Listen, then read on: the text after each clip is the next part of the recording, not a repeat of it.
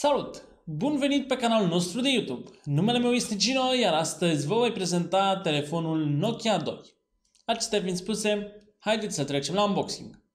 Cutia în care vine telefonul este una foarte frumoasă și pe partea laterală a acestea avem specificațiile principale, dintre care putem enumera bateria de 4100 de mAh, ecranul de 5 inch HD LTPS, Construcția de aluminiu, mai avem un uh, chipset Qualcomm Snapdragon 212, 4G LTE și camerele de 8 respectiv 5 megapixeli.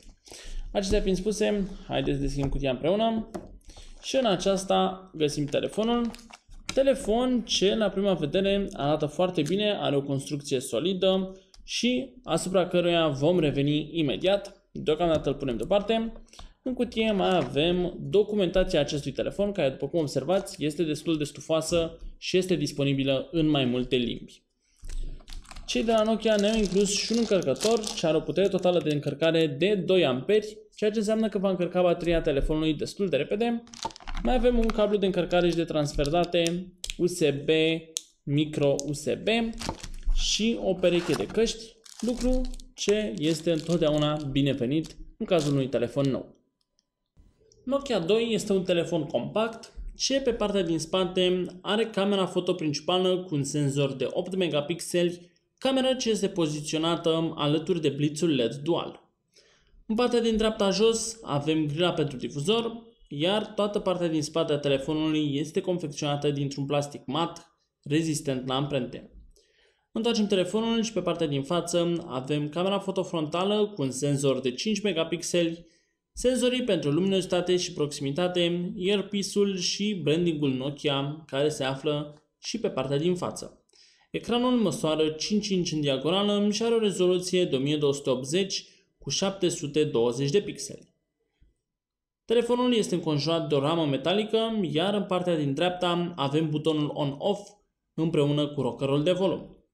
În zona superioară avem conectorul jack de 3,5 mm pentru căști, microfonul secundar pentru anularea zgomotului de fundal și două tăieturi pentru antene.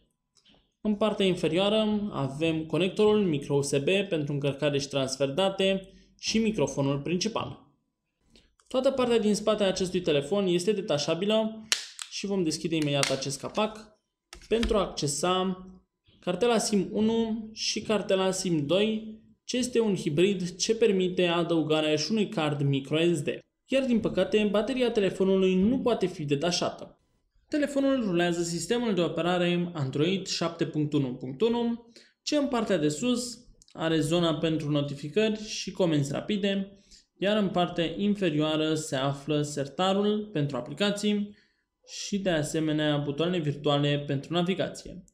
Sistemul de operare nu a primit modificări, iar în testul sintetic Antutu, telefonul a reușit să scoată modestul scor de 24.758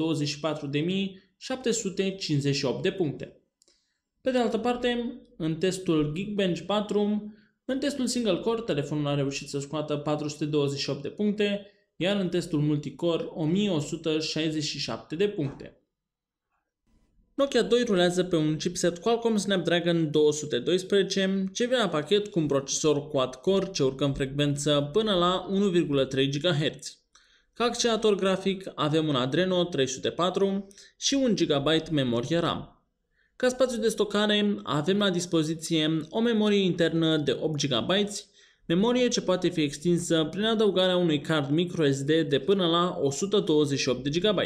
Dar pentru o autonomie mai mult decât decentă, cei de la Nokia ne-au inclus și o baterie generoasă de 4100 mAh.